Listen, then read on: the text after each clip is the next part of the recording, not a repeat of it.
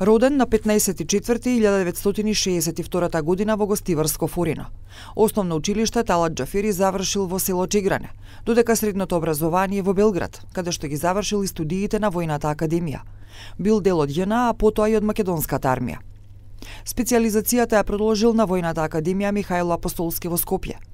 Од 1985 до 1991 година бил офицер на ЈНА, додека од 1992 до 2001 година бил и офицер на армијата на Република Македонија.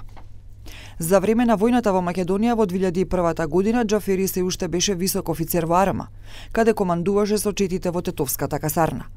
Неколку дена по масакрот во Вејце на 28 април 2001 година, Џафери ја смени страната и се приклучи на Ослободителната национална армија. Џафери на тој начин стана командант на бригадата 116 и го доби прикарот командант Форина. Потоа Џафери беше амнестиран по Охридскиот договор. За прв пат во 2002 година Џафери е избран за пратеник во Собранието на Република Македонија од редовите на Демократската унија за интеграција. Во периодот 2004-2006 година ја извршуваше функцијата заменик министер за одбрана. Од 2008 до 2013 година Џафери повторно ја извршуваше функцијата пратеник во собранието.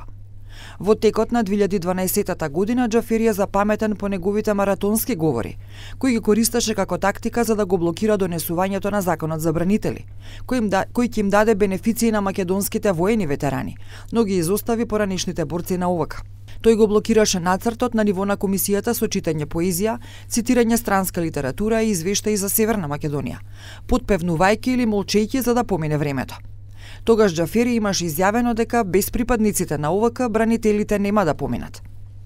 Во 2013 година Талат Џафери седна на функцијата министер за одбрана, кога владата ја водеше поранешниот премиер Никола Груевски.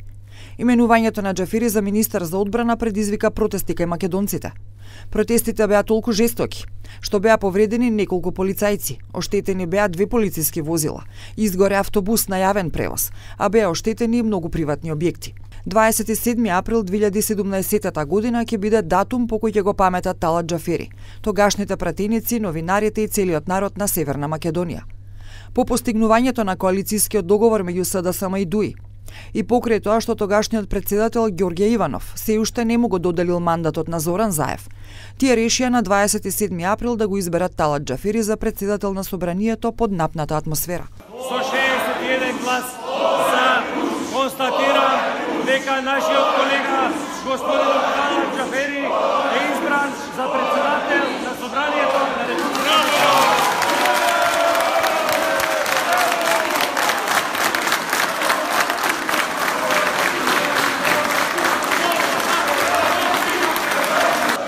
Ndërtojmë qytetarëve të Republikës së Maqedonisë.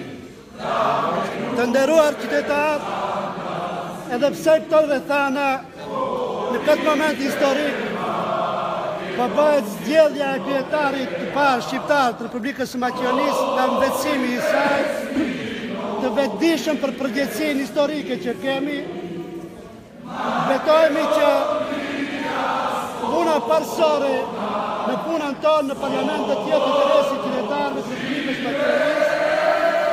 që të kryani institucione për pacit të cilat dhe funksionën bivas të ligjit e kushtetutës, dhe sekretari zjedhur edhe në këto rethana, në asë në moment nuk dhe të lejoj që të bëhet uzurpimi institucioneve këtu në vendë.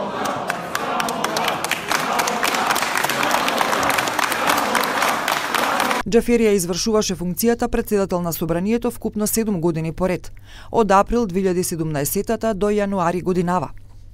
Талат Џафери од денеска ќе биде првиот премиер албанец во историјата на Северна Македонија. Согласно договорот меѓу двата партнера од коалицијата СДСМ ДУИ, Талат Џафери во последните 100 дена од оваа влада ќе го менува актуелниот премиер Димитар Ковачевски. Тој пред два дена го доби мандатот за состав на влада од председателот на државата Стево Пендаровски. Me kënaqësi dhe përgjegjësi të nga presidenti i shtetit pranoi mandatin për themelim të përbërjes së re teknike të qeverisë me premtim se e gjithë procesi do të zhvillohet mbi bazë të ligjeve dhe kushtetutës së Republikës së Maqedonisë së Veriut me shpresë që përbërja e re do të jetë konform përcaktimeve ligjore, me përgjithësi dhe detyrat që dalin nga themelimi i saj. Талат Џафири ќе извршува премиерската функција до одржувањето на редовните парламентарни избори, кои се закажани за 8 мај, односно до денот кога ќе се формира изборот на новиот владен состав.